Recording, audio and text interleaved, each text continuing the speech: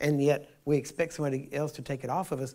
And yet, even if they do, see, people, people come to me, I lay hands on them, they get healed.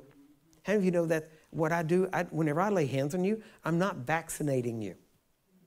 I'm not inoculating you, right? It's not, I'm not making you immune. We're, fix, we're dealing with a problem and we're fixing that problem.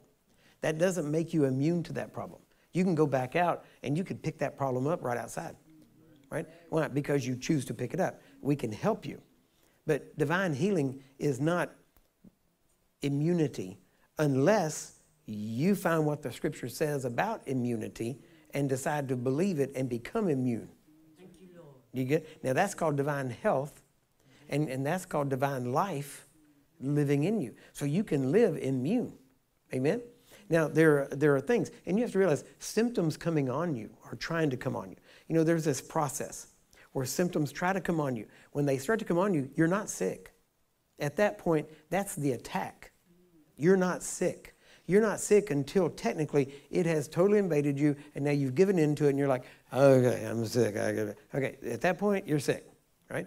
But when you feel symptoms, you can immediately, immediately go to and go, no, in Jesus' name, by his stripes I was healed. It is God's will that I prosper and be in health even as my soul prospers. So, in the name of Jesus, this thing cannot dwell in this body. So, in the name of Jesus, every symptom, you, you're a lie, and I command you to leave my body. Now, at that moment, you have been under attack. You were not sick. Do you get that?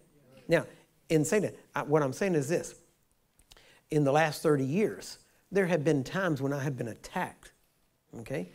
But I have not been sick. Here's what I believe that I, and I believe this according to what I have found personally for myself in the Word of God. Nothing shall by any means hurt me. That's what I believe, right? Now, my faith is working in that. My faith is building in that. It's getting stronger in that all the time. And people say, well, but that's ridiculous. No, no, no. All things are possible, and nothing is impossible. So, if nothing is impossible, then nothing shall by any means hurt me because that means I can now believe that whatever you think can hurt me, I can believe it won't. And my faith in God can protect me. Amen? Does that make sense?